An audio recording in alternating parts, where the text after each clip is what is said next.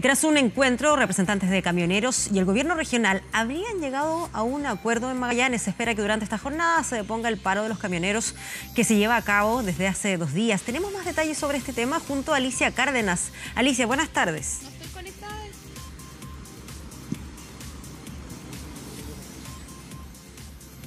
Hola, ¿cómo están? Muy buenas tardes. Poco más de 24 horas duró el paro, la movilización de los camioneros aquí en Magallanes. Esto porque hace muy pocos minutos salió humo blanco desde la Intendencia Regional, en donde se reunieron autoridades locales con don Miguel Cárdenas. Él es em, de la Asociación de Camioneros de la región de Magallanes, en donde se eh, trabajaron los puntos que ellos pedían principalmente. Eran tres, uno de ellos y que quedaron bastante conformes por lo que pudimos conversar con los representantes de los camioneros, es la construcción de un aparcadero en Punta Arenas. Esto porque actualmente ellos no cuentan con un lugar específico en donde resguardar sus camiones y lo hacen en dependencias de zona franca. Conversamos con las autoridades, también con Miguel Cárdenas, dirigente de los camioneros, y esto fue lo que nos comentaron acerca de la resolución de este conflicto.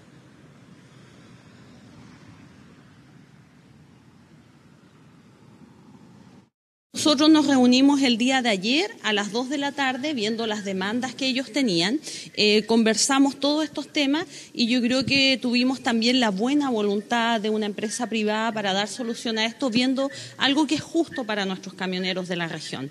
Y por otro lado, como gobierno, estamos trabajando el tema del aparcadero y eso lo vamos a entrar a trabajar justamente ahora con los dirigentes y yo creo que en un rato más puede ser una media hora, una hora más, vamos a poder salir a contarles a ustedes cuál es, qué, cuál es la decisión que hemos tomado en conjunto, porque esto se hace en conjunto, esto es un trabajo en equipo. Acá uno como autoridad no puede sentarse y decidir por el resto. Acá tenemos que hacer diálogo, tenemos que juntarnos, tenemos que conversar y tomar las mejores decisiones, pero siempre tomando en cuenta lo que los afectados o lo que en este caso los camioneros piensan. Los acuerdos que logramos son de que un anhelado eh, eh, necesidad era de que las empresas generadoras de carga de Magallanes realmente piensen que no solamente puede ser ganar a través de los incentivos tributarios, 889, ley Navarino, etcétera, sino que eso con responsabilidad social empresarial debe prorrotearse en los servicios que ellos cumplen, como ser transporte, uno de ellos, otro puede ser aseo, otro puede ser alimentación. Hay tantos donde ellos tienen que cumplir ese servicio. Así que nosotros queremos agradecer a los ejecutivos que llegaron del norte del país, de Nueva Austral, para poder firmar este, este, decreto y aumentar en forma considerable el valor que actualmente se les pagaba a los transportistas Magallanes. Y de la misma manera quiero que agradecer tanto a Nueva Austral de que las demás empresas que usufructan de los mismos beneficios tengan la, no la valentía, porque esto no se llama ser valiente, tengan la honestidad, la transparencia de poder cumplir de la misma manera con los transportistas que les cumplen a ellos los servicios.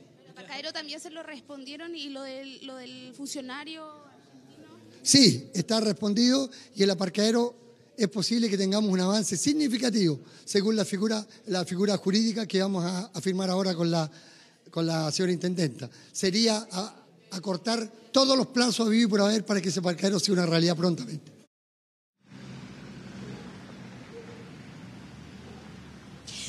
Esta reunión con la intendenta Miguel Cárdenas, dirigente de los camioneros, se, dirigió hacia eh, la ruta 9 Norte para dar aviso a los camiones que despejen la ruta que si bien no estaba bloqueada, permitía el acceso de automóviles y también de buses que transportan pasajeros, se encontraban a un costado de la ruta. Este es un conflicto que en Punta Arenas y en Puerto Natales también trajo secuelas, ya que la gente tomó sus resguardos tras este paro que ayer se había dicho que era de carácter indefinido gente llegó en masa a distintos eh, puntos eh, bencineras de la ciudad, en donde en muchos lugares de estos quedaron totalmente desabastecidos, largas horas de espera, también eh, largas filas en donde la gente quiso abastecerse hasta por este paro que finalmente hoy hace muy pocos minutos ya tuvo solución por lo que se depone esta movilización de los camioneros.